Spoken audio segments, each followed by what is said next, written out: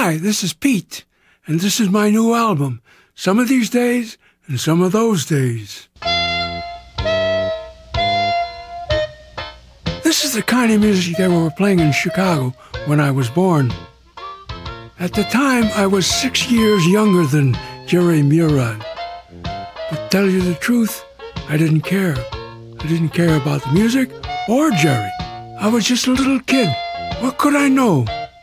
In fact, nobody cared about anything because the world was under a depression. Time went on, and when I was five years old, I got my first harmonica.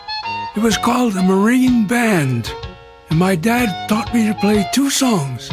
One was called Yinky Dinky Parlez-Vous, and the other was Casey Jones. About that time, they started calling me Sonny, and they'd say, Play your harmonica, Sonny. So I'd go into my two songs, and I brought the house down.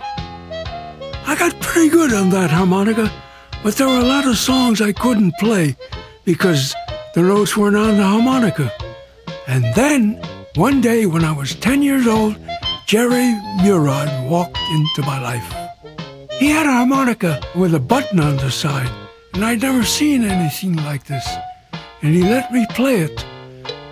And suddenly, all these notes I've been looking for, I could find just by pushing the button in.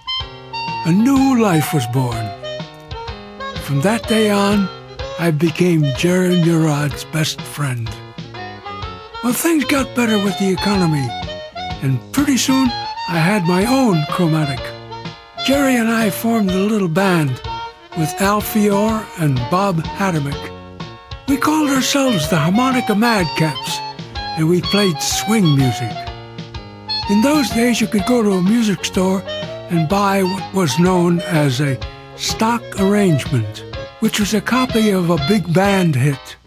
I could read music well enough to teach the other guys their parts, and pretty soon we had a whole repertoire. And then one day, the Borrah Minevitch Harmonica Rascals appeared at a theater in Chicago. And right after the first show, we all went backstage to meet the guys. They treated us real nice because we were harmonica players. In fact, they asked us to play for them. So we went into one of our big band arrangements. Well, halfway through the arrangement, the door opened, and guess who walked in? Borrah Minevitch himself. Well, right away we stopped playing, froze, I guess. And he said, Play it again, play it again. So we started again from the top. And as we played, he walked back and forth listening to each individual player like he did in the movies. He took down our names and numbers and all that stuff, and he was a little bit concerned about me because he wanted to know if I was old enough to go out on the road. I was 16 at the time, but I lied to him. I said, I'm 17.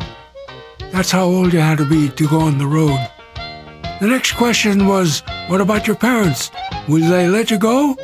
And I said, Yeah. There was no trouble with my dad because he was a big fan. All I had to do now was wait for the call. And so I waited, and waited, and waited, waited. And just about the time I gave up on ever hearing from Borrah Minevitch again, came a telegram saying, Can you meet me in Los Angeles? Signed Borrah Minevitch. Well, as it turned out, Jerry Murad got a similar telegram. So off we went into the big time. I learned a lot from Borrah Minevitch, like money isn't everything. The idea never caught on with Jerry Murad. In fact, one time he had an argument with Minevitch about money. And Minevitch said something that Jerry didn't like. He said, You're fired. And so Jerry went back to Chicago, started his own harmonica band, and called them the Harmonicats. The rest is history. Now, on to my album. I call it Some of These Days and Some of Those Days because it took me almost 50 years to put this thing together. I had to wait a lot. I had to wait for somebody to invent a computer and somebody else to invent a keyboard. With those two tools, I could become a one-man band.